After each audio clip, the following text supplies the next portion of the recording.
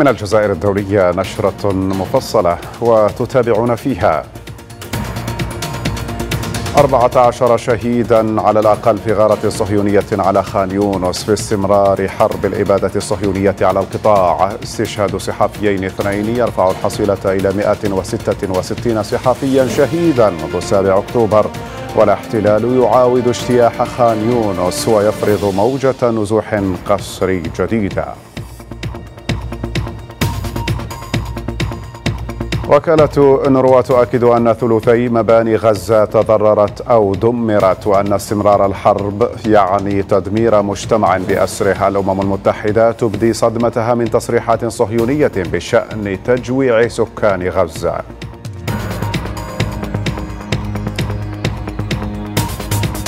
كتائب القسام تبايع يحيى السنوار رئيسا لحركة حماس خلفا لإسماعيل هنية وتعلن جاهزيتها الكاملة لتنفيذ قراراته وتنشر مشاهد جديدة لكمائن وعمليات ميدانية استهدفت قوات الاحتلال وآلياته المتوغلة على عدة محاور بقطاع غزة. وحماس تنعى القائد سامر الحاج إثر استشهاده في غارة على صيدا جنوبي لبنان.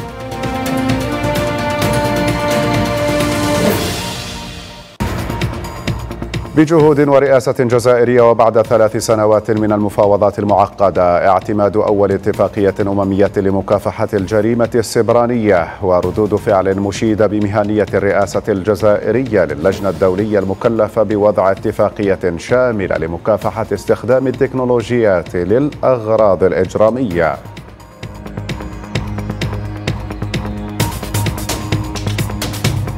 وفي السودان قصف عنيف استهدف مناطق متفرقة من مدينة الفاشر يخلف عشرات القتلى والجرحى والحكومة تعلن توجيه وفد عنها إلى جدة السعودية لمباشرة مشاورات بشأن مفاوضات جنيف.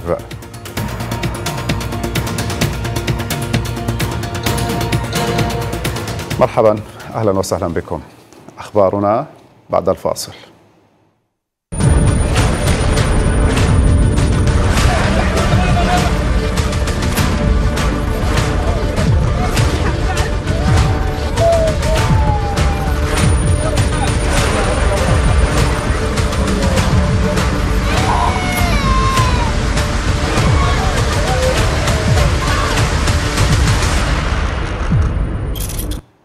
استشهد 14 فلسطينيا على الأقل وأصيب آخرون الجمعة في غارة شنها طيران الاحتلال الإسرائيلي على مدينة خان يونس جنوبي قطاع غزة.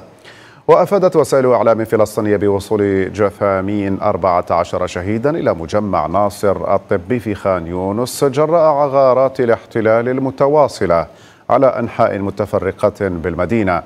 وطال القصف الصهيوني منزلا لعائلة معمر بمنطقة التحلية وسط خان يونس ومنطقة المواصي غربي المدينة.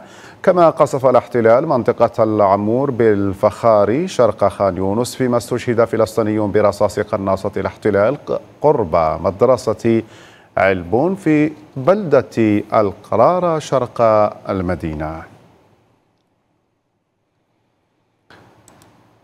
أستشهد صحافيان فلسطينيان في غارتين منفصلتين شنتهما طائرة الاحتلال الجمعة على خان يونس جنوبي قطاع غزة مع عدد من أبنائهما وأفراد عائلتيهما. وقال مسعفون وصحفيون إن صحفيين هما كل من تميم معمر الصحفي بقناة فلسطين وعبد الله السوسي الصحفي بقناة الأقصى. وقد استشهدا مع عدد من أقاربهما. وذكر المكتب الإعلامي الحكومي في غزة أن استشهاد صحفيين يرفع الحصيلة إلى 165 صحفيا شهيدا منذ السابع أكتوبر الماضي. اضطر نازحون فلسطينيون إلى مغادرة خان يونس خلال الساعات الأخيرة تحت تهديد قوة الاحتلال الصهيوني التي عاودت صباح اليوم اجتياح المنطقة وسط قصف مدفعي وجوي عنيف وغادرت العائلة المناطق الشرقية لخان يونس من دون معرفة وجهتهم في غياب مناطق آمنة يحتمون بها من القصف بعد تلقيهم الخميس. أوامر جديدة بالإخلاء القسري تمهيدا لما يصفه الاحتلال بعملية عسكرية جديدة. رحلة النزوح بين الذهاب والإياب مآلها المجهول فلا أحد بين هؤلاء السائرين في خط مستقيم. يدري أين سيحط الرحال يقينهم الوحيد اتباع أوامر الإخلاء الصادرة من الاحتلال الصهيوني الذي أجبرهم مرة أخرى على ترك منازلهم في الأحياء الشرقية من خان يونس والتوجه نحو غرب المدينة حياتنا يا والله قرفنا والله الموت احسن خلي الدول يا الله الدول بره لنا يا متنا متنا متنا متنا 100 مره متنا أغلبيتهم لم يحالفهم الحظ في استئجار سيارة أو عربة لنقل أمتعتهم. لذا حملوا ما استطاعوا حمله. كحال هذه الأم تعانق كيسا بثقله المتعب. والله تعبنا نحن إحنا من سكان غزة. إحنا تعبانين. بيقولوا لنا هذه مناطق آمنة مناطق روحوا على الجنوب مناطق آمنة. أنا أنا اخذوا جوزي وابني اسروه يجونا في قلب الدور إحنا بدناش نطلع بدنا نموت في, في دورنا. هم بناشدهم يطلعوا لنا. لأنه إحنا تعبانين؟ والله تعبانين. والله تعبانين. بعد ساعة طويلة من السير على الأقدام داهمهم الليل ليجبروا على افتراش الأرض ولينام أبناؤهم من شدة التعب. أما كبارهم فظلوا ساهرين ببال مشتت. تعذبنا خمس ساعات تقريبا آه، نزوحنا من عبسان الكبيرة لخان يونس. وهينا الحمد لله يعني وين بدنا نعيش؟ هينا عايشين في الشارع يعني وين بدنا نقعد؟ يعني ما في آه، أي مكان أي مفر آمن غير الشارع. ونتمنى عاد من الله عاد ونتمنى من دول العالم كلها إنها توقف جنبنا. والله ما لقينا ولا حاجة ولا مقومات حياة. المية ما لقيناها. المية ما لقيناها. ولا أكل ولا ميه ولا حاجة ولا محتاجة ولا حتى الدواء مش لاقيين. والله حتى الدواء ما إحنا لاقيين. بلوغ وجهة آمنة. أمر بات مستحيلا في غزة. في ظل تكثيف العدوان الصهيوني غاراته على كل شبر بالقطاع. ضمن سياسة مدروسة وممنهجة. يسعى الاحتلال من خلالها لإبادة الفلسطينيين. هذا واستشهد ثمانية فلسطينيين وأصيب آخرون فجر اليوم الجمعة في غارة شنتها أو الطائرة الحربية الصهيونية واستهدفت على وجه الخصوص مخيمات النصيرات والمغازي وجباليا. إلى جانب مدينتي خان يونس ورفح جنوب قطاع غزة. وأفادت مصادر طبية باستشهاد ثلاثة فلسطينيين وإصابة آخرين إثر غارة صهيونية استهدفت منزلا لعائلة مطر غربي مخيم نصيرات وسط القطاع.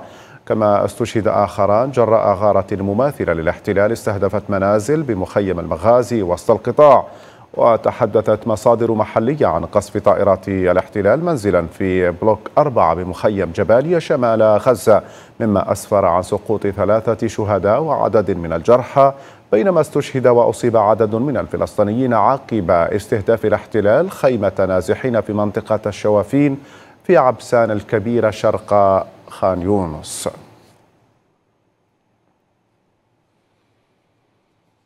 أكد المرصد الأورو متوسطي لحقوق الإنسان أن تكثيف قوات الاحتلال استهدافها للمدارس المستخدمة أو المستخدمة كمراكز للإيواء آه، سياسة ممنهجة. هدفها التهجير القسري وتفريغ القطاع من الفلسطينيين. المرصد اعتبر في بيان له الجمعة أن التصعيد ضد المدارس وما تبعه من إصدار أوامر إخلاء قسري غير قانونية من شمال غزة إلى جنوبها ضرب لاستقرار الأهالي لأسباب تبدو انتقامية. الأورو متوسطي كشف أن الهجمات التي استهدفت تسع مدارس تستخدم كمراكز إيواء لآلاف النازحين في غزة أسفرت عن استشهاد 79 فلسطينيا على الأقل وإصابة 143 آخرين غالبيتهم من الأطفال والنساء فيما لا تزال أعداد أخرى تحت الأنقاض. قصف المدارس وتدميرها على رؤوس النازحين فيها لم يكن له أي مبرر فعلي رغم أن الاحتلال يحاول دائما التبرير باستهداف أحد النشطاء العسكريين أو السياسيين دون أن تثبت صحة هذا الادعاء.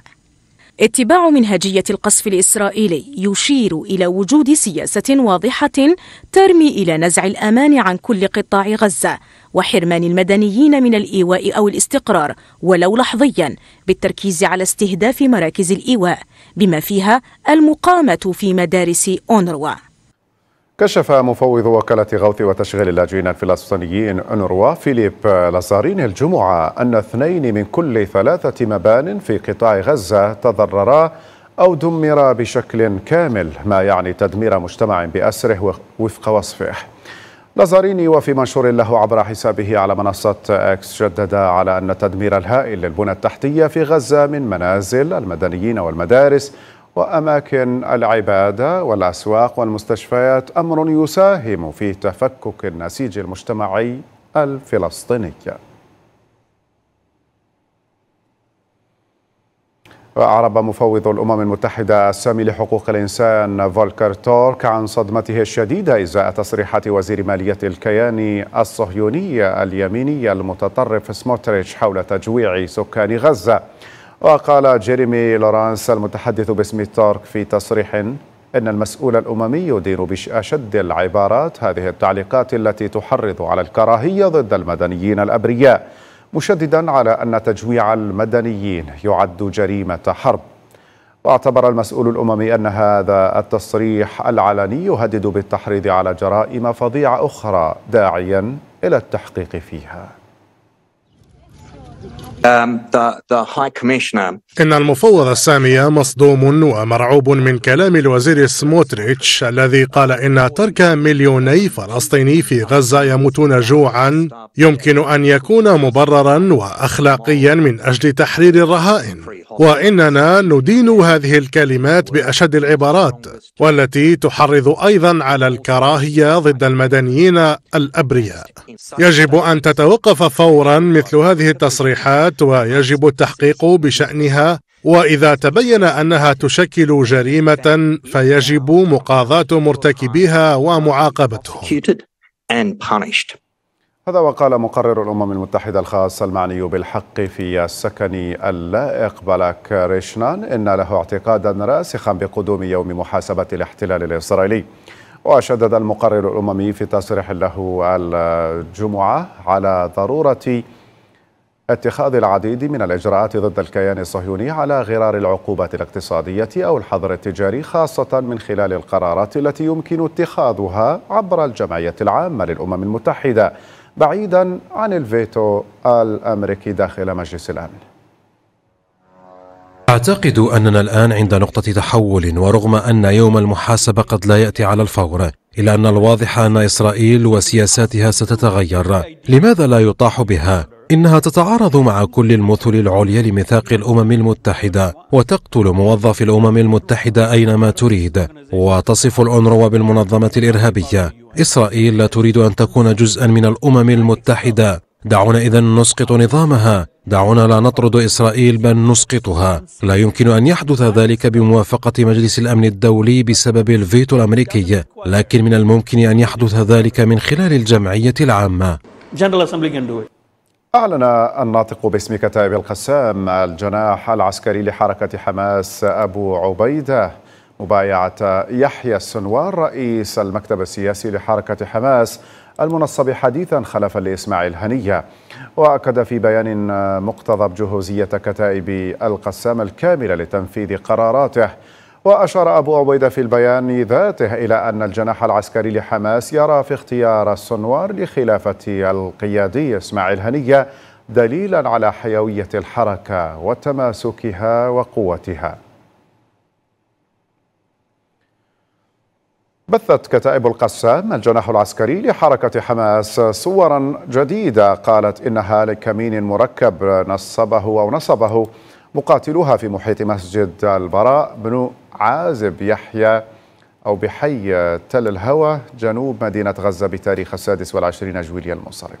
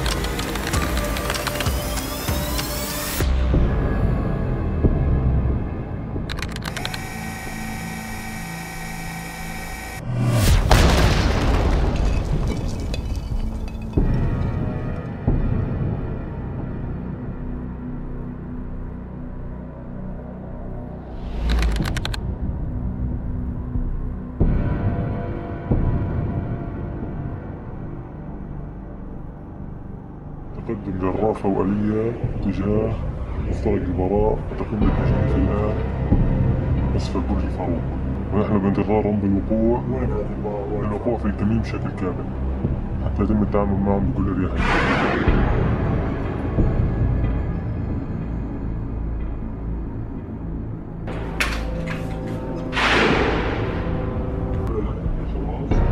سيتم إن شاء الله تعالى تفجير عبوة شواء بجنود الرابطة الله أكبر ولله الحمد. الآن صدمية بإذن الله تعالى؟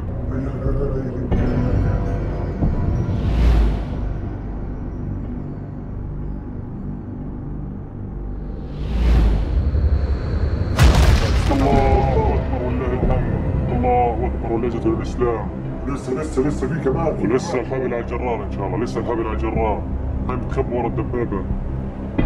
الآن سيتم إن شاء الله استهداف المركبة التي تحصن بها الجنود قبل قليل. الله أكبر ولله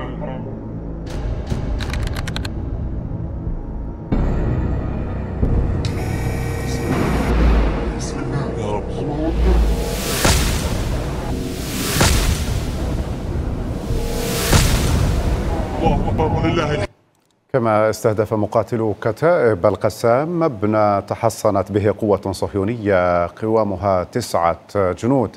الكتائب في بيان لها عبر تليجرام أوضحت أن مقاتليها استهدفوا بقذيفتي TBG. مبنى تحصنت به القوة الصهيونية في حي تل السلطان غربي مدينة رفح جنوب القطاع. وأوقعوا جنود الاحتلال بين قتيل وجريح مع رصد هبوط الطيران المروحي لإجلائهم.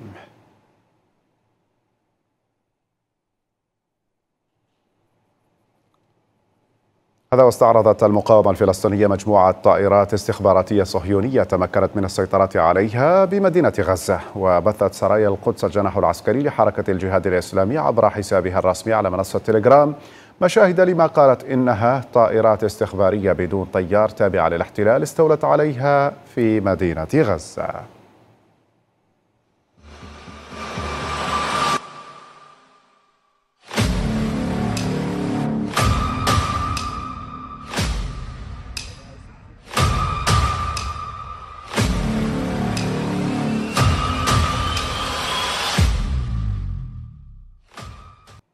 إلى ذلك نعت حركة المقاومة الإسلامية حماس القائد الميداني سامر الحاج الذي استشهد الجمعة إثر غارة صهيونية على مخيم عين الحلوة عند مدخل مدينة صيدا جنوبي لبنان. وذكرت وكالة الأنباء اللبنانية أن مسيرة صهيونية استهدفت بصاروخين سيارة رباعية الدفع تعود للقيادي سامر وذلك قرب دوار الحسبة في صيدا ما أدى إلى استشهاده وجرح مدنيين آخرين كانا موجودين في المكان لحظة الهجوم. بدورها نعت كتائب القسام الجناح العسكري لحركة حماس القائد سامر الحاج مؤكدة في بيان لها عهدها على مواصلة طريق المقاومة. قائلة إن دماء الشهداء نبراس ينير لها طريق التحرير. دعت كل من قطر ومصر والولايات المتحدة في بيان مشترك الخميس إلى استئناف محادثة وقف إطلاق النار في قطاع غزة. وقال زعماء الدول الثلاث في بيان مشترك إن الوقت قد حان لاستئناف المحادثات فوريا لوضع حد لمعاناة سكان غزة المستمرة منذ أمد بعيد وفق البيان الذي اقترح إجراء هذه المحادثات في الدوحة أو القاهرة في الخامس عشر من الشهر الجاري. لقد حان الوقت كي يوضع فوريا حد للمعاناة المستمرة منذ أمد بعيد لشعب غزة.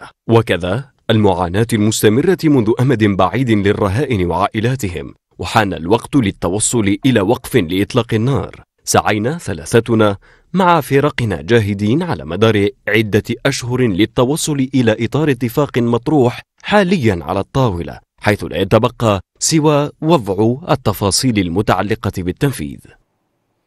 البيان أضاف أن الوقت قد حان لإبرام اتفاق لوقف إطلاق النار والإفراج عن الأسرى والمحتجزين.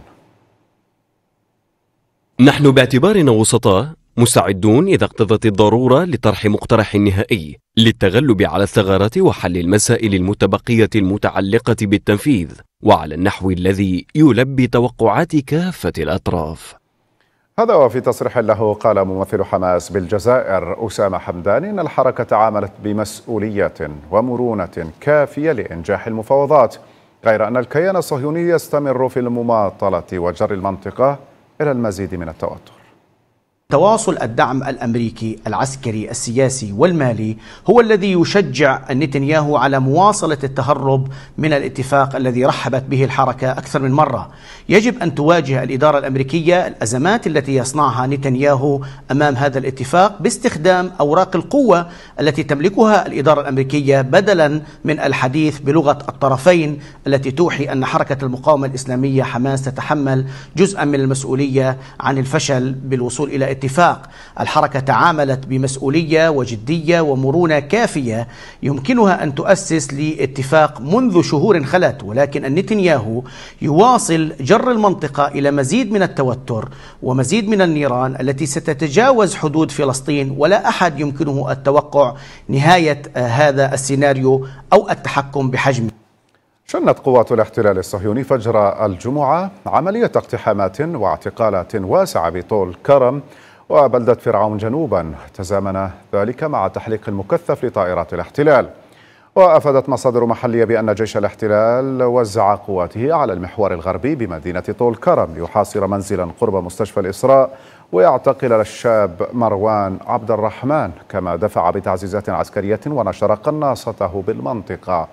هذا وداهم الاحتلال وفق المصادر ذاتها عمارة الفاتح شرقي طول كرم. ونفذ عمليات تفتيش لمنازل الفلسطينيين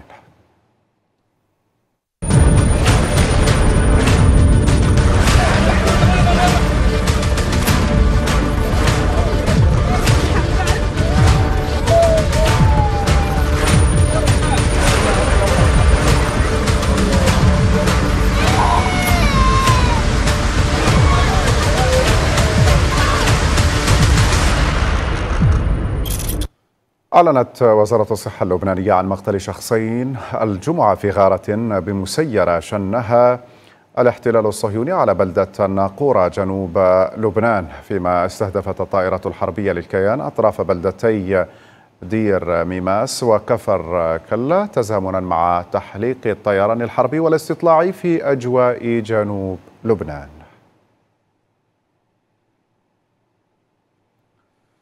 نقلت وكالة رويترز عن مسؤول كبير في الإدارة الأمريكية قوله إن البيان المشترك للزعماء لا يرتبط بالوضع الإقليمي بشكل أوسع وإذا كان له تأثير على إيران فهذا أمر جيد.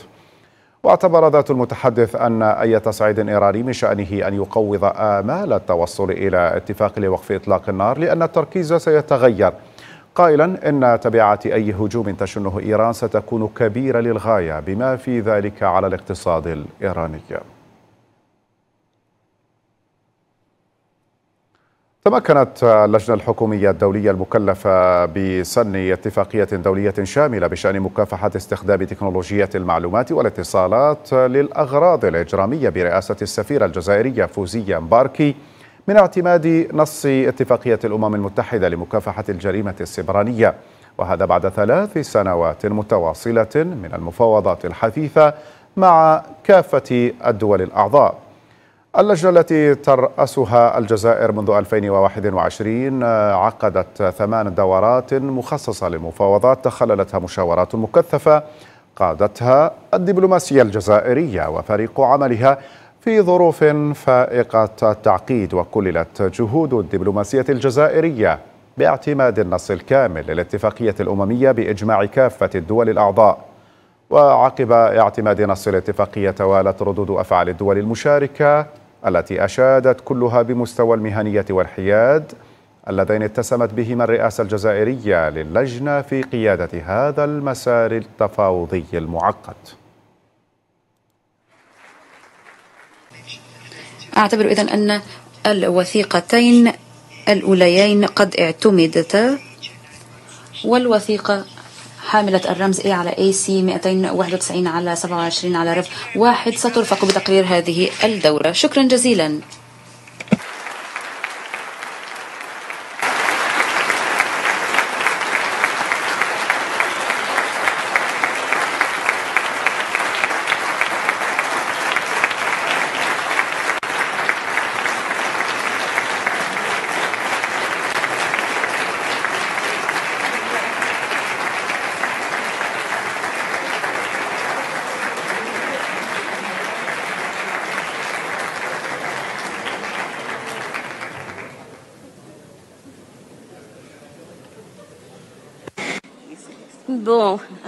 Après l'émotion, vous comprenez, hein, après trois ستتفهمون أن تغمرني المشاعر الفياضة. فقد أمضينا ثلاثة سنوات نعمل عملا حثيثا تحت ضغوط كبيرة للغاية كان الأمر صعبا. أرجو أن تصفقوا كذلك لطاهر.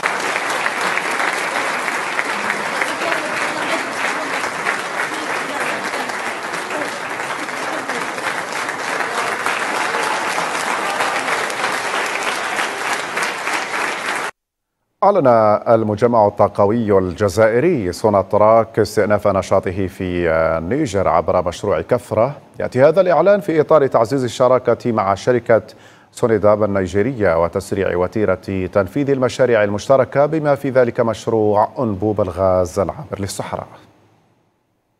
في خطوة تعكس طموحاتها الاستثمارية بالقارة السمراء يرسم المجمع الطاقوي سونتراك عودة نشاطه في النيجر باستئناف العمل في مشروع كافرا من خلال التوصل إلى اتفاق مع شركة سونيداب النيجيرية بتشكيل لجنة مشتركة لمتابعة تقدم المشروع وتجهيزه لمرحلة الإنتاج. مشروع كفرة الذي قام مجمع سونتراك بالاستثمار فيه منذ 2015 هو من المشاريع المهمة في النيجر ونحن الآن في المرحلة الحاسمة من هذا المشروع وهو التطوير للاستكشاف. تم الاتفاق على جدول عمل لتحديد برنامج مدروس بين مجمع سوناتراك وشركة سونيداب من أجل تقدير جيد للاحتياطات في منطقة كفرة التي تبعد عن الحدود الجزائرية بثمانين كيلومتر وكذلك تحديد الكميات الإضافية بهدف وضع آبار المنطقة قيد الإنتاج. استئناف سوناتراك لنشاطها في النيجر يأتي ضمن استراتيجية طموحة سطرتها الجزائر والتي تهدف إلى المساهمة في تعزيز القدرات الإنتاجية وتطوير البنية التحتية الطاقوية في القارة على غرار مشروع أنبوب الغاز العابر للصحراء الذي يشكل حجر الأساس للتكامل الاقتصادي بين إفريقيا وأوروبا. الجزائر تقترح دائما مشاريع متكاملة للبلدان الإفريقية في مجال المحروقات من خلال إقامة منشآت قاعدية وإنجازها بالشراكة وكذلك المرافقة التقنية ونقل الخبرة والمعرفة التي اكتسبتها سوناتراك منذ سنوات لصالح البلدان الإفريقية. عودة سوناتراك للنيجر ليس مجرد استئناف للأعمال بل هو انطلاقة جديدة نحو تحقيق أمن طاقوي يمتد مساره لضفتي المتوسط. انطلاقة تبرز التزام عملاق الطاقة الجزائري والإفريقي بتقديم مشاريع مبنية على أساس من الثقة والتعاون المثمر. كشف أحدث تقرير عن المجلس الوطني الاقتصادي والاجتماعي والبيئي الجزائري عن تسجيل الجزائر أداء ونموا قويين خلال 2023 وسط تواصل التوترات الجيوسياسية والاضطرابات في العالم بفعل تدابير اتخذتها الحكومة لصالح التنمية الاقتصادية والاجتماعية. الجزائر تقف أمام استقرار نمو قوي وقادر على الصمود وتعزز من صلابة اقتصادها الكلي. على وقع هكذا بيانات حديثة إيجابية استشرف المجلس الاقتصادي والاجتماعي والبيئي الجزائري تقريره لسنة 2023 بفعل تسجيل ميزان المدفوعات فائضا تجاريا يفوق 12 مليار دولار خلال المدة نفسها. وضع الجزائر الخارجي حافظ على مستوى مر بفضل الميزان التجاري الذي يواصل تحقيق فائض. في ظل سياق عالمي أصبح جيوسياسيا أكثر من أي وقت مضى. سنة 2023 تميزت بالالتزام المستمر لصالح التنمية الاقتصادية والاجتماعية والبيئية على الرغم من التحديات المستمرة. فالتدابير المتخذة عكست عزم السلطات العمومية على العمل من أجل الحفاظ على مستوى النمو الذي يرتفع باستمرار على المدى الطويل وتحسين الظروف المعيشية للمواطنين وفق جهد مبذول كان ملحوظا وتقدما ملموسا. الهيئة الجزائرية تطرقت إلى الإمكانات الهائلة والقدرات الكبيرة التي تحوز عليها البلاد في قطاعات مختلفة، مؤكدة أن بإمكانها مواصلة تحقيق الحفاظ على القدرة الشرائية للجزائريين وتكريس نهج الانتعاش الاقتصادي مع وجوب ضمان سياسة اجتماعية وتضامنية بناء على استراتيجيات مدروسة ومبادرات حكومية. التطور الديمغرافي يشكل فرصة وتحديا في آن واحد، حيث يوفر السكان إمكانات كبيرة للتنمية الاقتصادية والاجتماعية، لا سيما من خلال الاستغلال الأمثل لموارد الفئات العمرية النشطة وخاصة النساء والشباب. البيئة المعيشية للسكان ورفاههم شهدت تحسنا كبيرا إذ يكشف تقريرنا استخدام مقاربات غير نقدية عن حدوث تحسن ملموس على إثر الانخفاض الملحوظ في الفقر متعدد الأبعاد. هذه الجهود المبذولة في مختلف المجالات في الجزائر بنتائج ملموسة حيث تم تصنيفها ضمن البلدان ذات التنمية البشرية المرتفعة وفقا لتقارير برنامج الأمم المتحدة الإنمائي التي أظهرت هيمنة الجزائر على منطقة المغرب العربي. آخر مؤشرات المجلس الاقتصادي الجزائري تدعم مكانة البلاد المحورية إقليميا وعالميا رغم التحديات الكبرى التي تواجه الاقتصاد العالمي على ضوء ارتدادات الحرب في أوكرانيا والتوتر بالشرق الأوسط ودخول المعمورة أزمة متعددة الأبعاد مدفوعة بارتفاع معدلات التضخم القياسية وزيادات في أسعار الغذاء والطاقة. في موضوع آخر دعا الرئيس التونسي قيس سعيد إلى اعتماد مقاربة شاملة وتوافقية في مجال الهجرة غير النظامية لوضع حد للظاهرة والقضاء على أسبابها. الرئيس سعيد أكد خلال استقباله وزير الشؤون الخارجية الإيفوارية ليون كاكو أدوم بقصر قرطاج أكد أن بلاده ترحب بالأشقاء الأفارقة وتحرص على معاملتهم معاملة إنسانية مضيفا أنها لن تسمح بوجود أشخاص خارج القانون في تونس. وأكد الرئيس التونسي على اعتزاز بلاده بانتمائها الأفريقي وحرصها على تعزيز علاقات التعاون والشراكة مع الدول الأفريقية في إطار ثنائي ومتعدد الأطراف.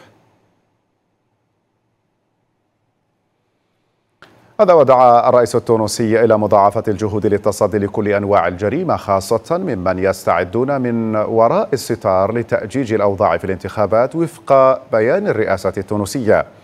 الرئيس قيس سعيد عند لقائه وزير الداخلية خالد النوري وكاتب الدولة لدى وزير الداخلية المكلف بالأمن الوطني سفيان الصادق شدد على أن التوقيفات الأخيرة لعدد من الأشخاص الذين تعمدوا قطع المياه والكهرباء في العديد من المدن والقرى أثبتت وجود حملات إجرامية مفضوحة الأهداف. سيتصدى لها الشعب التونسي وفق تعبير الرئيس سعيد.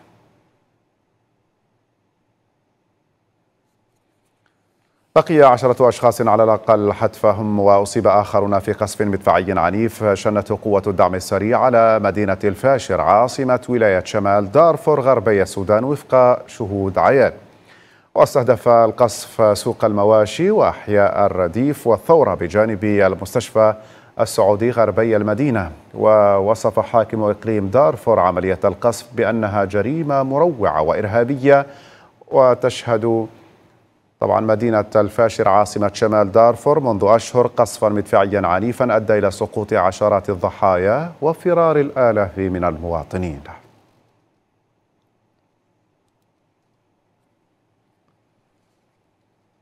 قالت الحكومة السودانية إنها قررت إرسال وفد إلى مدينة جدة السعودية للتشاور مع الولايات المتحدة بشأن مفاوضات وقف إطلاق النار المقررة في جنيف حسب ما أفادت به وكالة الأنباء السودانية الجمعة.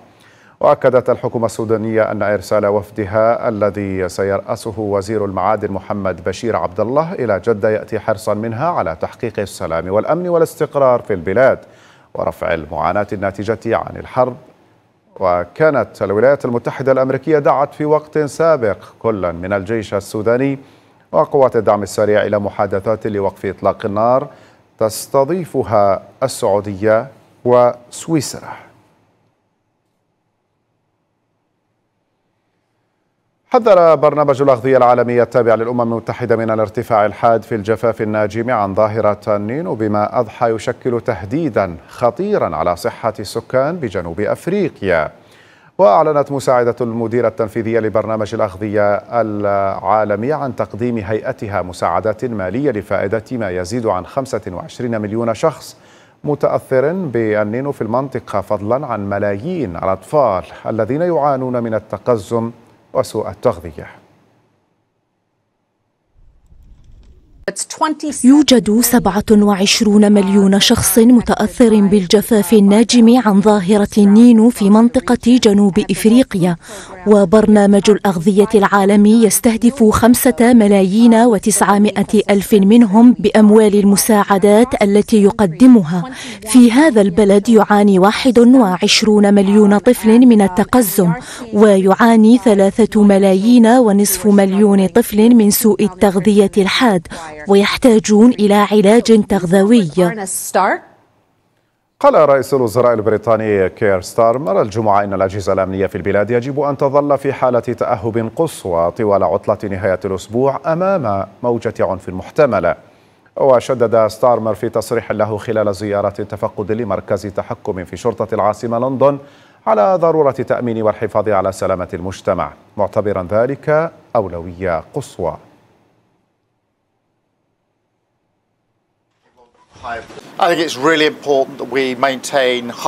أعتقد أنه من المهم حقا أن نحافظ على حالة تأهب قصوى أنا مقتنع تماما بأن وجود ضباط الشرطة في الأماكن الصحيحة خلال الأيام القليلة الماضية والعدالة السريعة التي يتم تطبيقها في محاكمنا. كان لها تأثير حقيقي. عليكم البقاء في حالة تأهب قصوى حتى نهاية هذا الأسبوع لأنه يتعين علينا التأكد من أن مجتمعاتنا آمنة ومأمونة وتشعر بالأمان.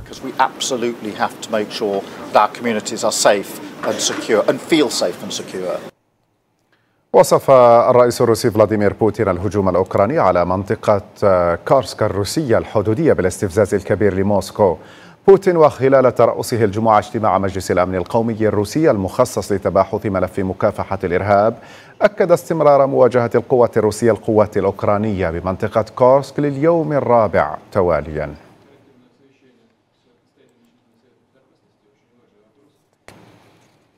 وأعلنت وزارة الدفاع الروسية مواصلتها صد ما وصفتها بمحاولة التوغل الأوكراني في منطقة كورسك الحدودية لليوم الرابع توالياً. وأشارت الوزارة في بيان لها الجمعة إلى أن خسائر القوة الأوكرانية في الساعات الأربع والعشرين الماضية بلغت أكثر من 280 عسكريا و27 وحدة مدرعة. ليصل إجمالي الخسائر جراء القتال إلى 945 عسكريا وأكثر من 100 مركبة مدرعة حسبها. هذا وأكدت وزارة الدفاع الروسية في وقت سابق نقل قوات احتياطية إلى منطقة كورسك لصد الهجوم الأوكراني مع إعلان حالة الطوارئ فيها بالإضافة إلى إجلاء آلاف المدنيين.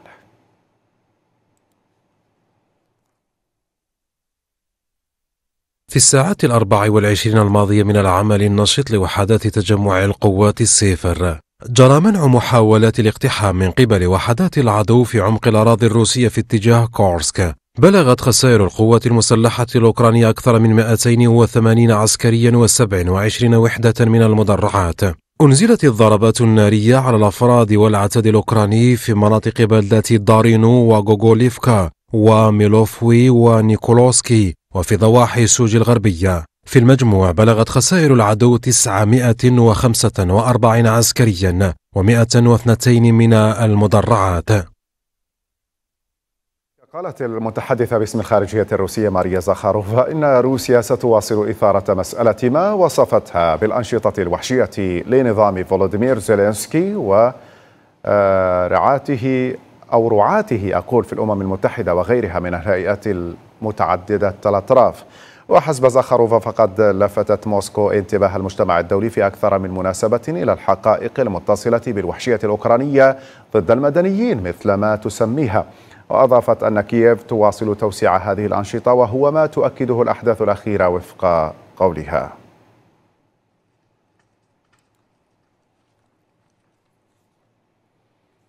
في شأن آخر تشغل القضية الفلسطينية على وجه الخصوص والتوترات في الشرق الأوسط عموما حيزا مهما في أجندة المرشحين. الجمهوري ترامب والديمقراطية هاريس إلى أن التصريحات والتعليقات حول المستجدات لم تتغير.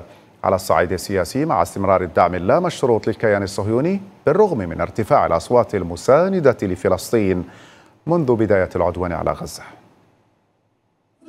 اتجاهات الرأي العام الأمريكي حول القضية الفلسطينية شهدت تغييرا ملحوظا وتعاطفا شديدا منذ بداية العدوان على غزة. بالمقابل هذا الدعم الإنساني لم يتبلور في السياسات الخارجية للبيت الأبيض بل على العكس ما زال الدعم الأمريكي للكيان متواصلا بشكل مطلق ولا محدود. وهو ما ينعكس أيضا على الحملات الانتخابية للمرشحين للسباق الرئاسي ترامب أو هاريس وجهان لعملة واحدة لا تقبل التدخل لردع جرائم الكيان الصهيوني. بالرغم من تراجع نسب التأييد للكيان وسط الديمقراطيين خاصة في أوساط الشباب والأقليات العرقية التي تمثل شرائح مهمة لم تتغير سياسة الحزب في دعم الاحتلال ما يطرح تساؤلا عن وجهة تلك الأصوات في الانتخابات العامة نوفمبر المقبل والتي قد تصنع الفارق الضئيل وفق استطلاعات الرأي. أما الحزب الجمهوري فيشهد تزايدا في تأييد الاحتلال بضغط من نفوذ التيار المتطرف داخل الحزب وسيطرة اللوبي الصهيوني على المؤسسات الاقتصادية الكبرى التي تمول الحملات الانتخابية للمرشحين. كما أن ترامب يعد حليفا قويا للكيان مترجما ذلك في فترة رئاسته السابقة.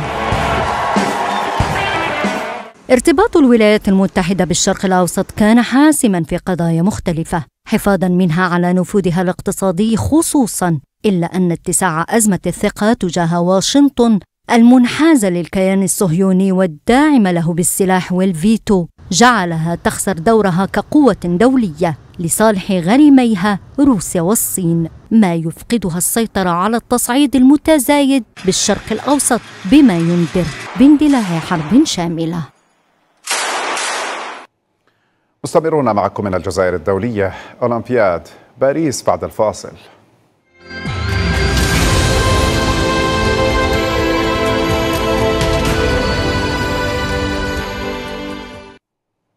ستكون البطلة الجزائرية إيمان خليف على موعد مع كتابة التاريخ سهرة اليوم بداية من الساعة التاسعة وإحدى وخمسين دقيقة بملعب رولان جاروس عندما تخوض نهائي الملاكمة وزن أقل من 66 كيلوغرام ضمن الألعاب الأولمبية الجارية وقائعها بالعاصمة الفرنسية باريس. ابنة مدينة تيارة الجزائرية ستلاقي في المشهد الختامي الصينية يانغ ليو وعينها على الفوز بالنزال وتحقيق ميدالية ذهبية ثانية للجزائر. بعد ميدالية كيليان مور وتصبح أول عربية وأفريقية تحقق هذا الإنجاز.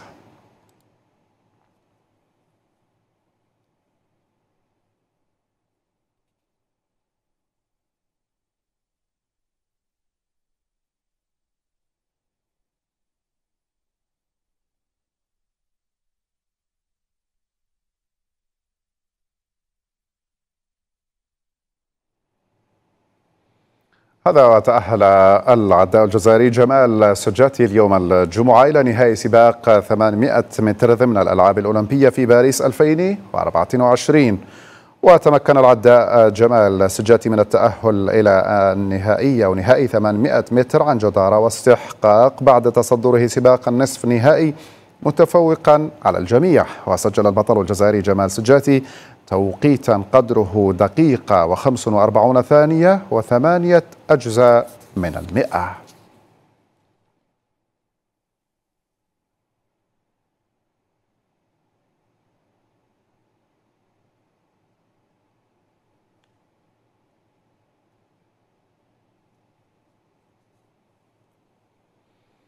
وعقب تأهله أعرب العداء الجزائري عن فخره ببلوغ الدور النهائي من الأولمبياد. الحمد لله. آه هذا بفضل الوالدين الوالدين بفضل الله سبحانه وتعالى والوالدين الدعاء تاعهم ونشكر المدرب تاعي البطل الاولمبيه بني مرح اللي ساهرين عليا والحمد لله. إن شاء الله راني نتمني من كل أعماق قلبي إن شاء الله نسمع النشيد الوطني. آه سيبق ما راحش يكون سهل في لافينال إن شاء الله نكون واجد ذهنيا وإن شاء الله نفرح الشعب الجزائري يعني من كل قلبي إن شاء الله يطلع على الجزائر هذا وهنأ الرئيس الجزائري عبد المجيد تبون البطل جمال سجاتي على تأهله إلى نهائي سباق 800 متر في أولمبياد باريس. وقال الرئيس تبون لسجاتي عبر تغريدة على منصة إكس أنت في طريق الذهب وستصل بحول الله.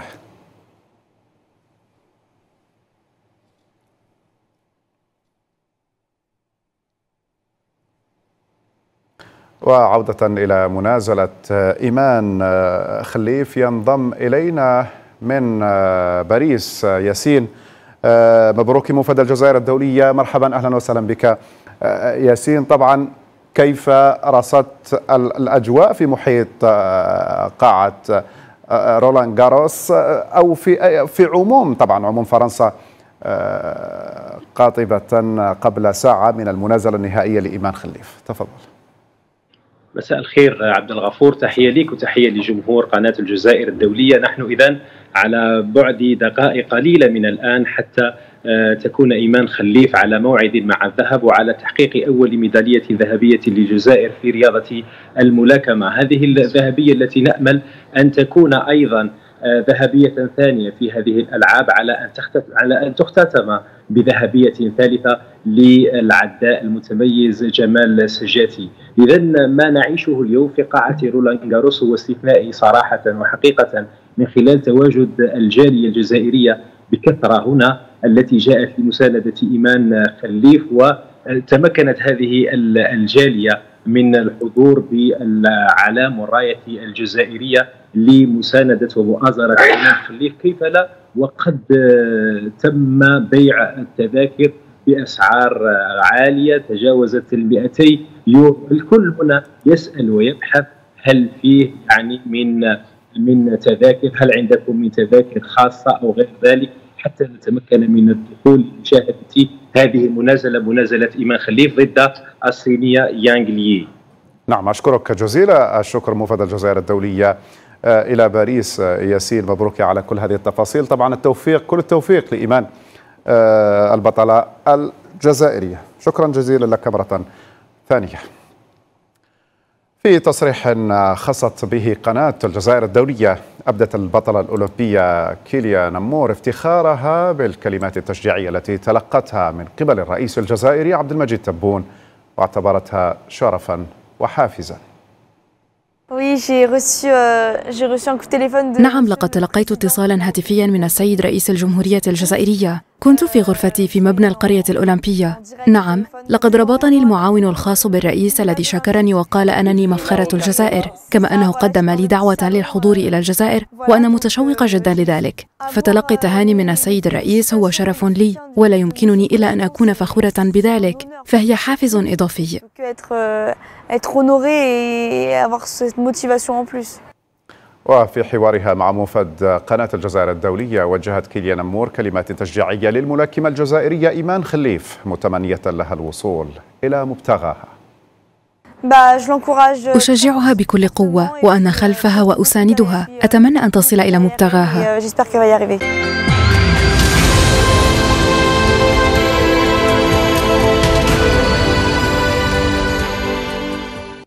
برياضة نصل إلى ختام نشرتنا. شكرا على طيب المتابعة.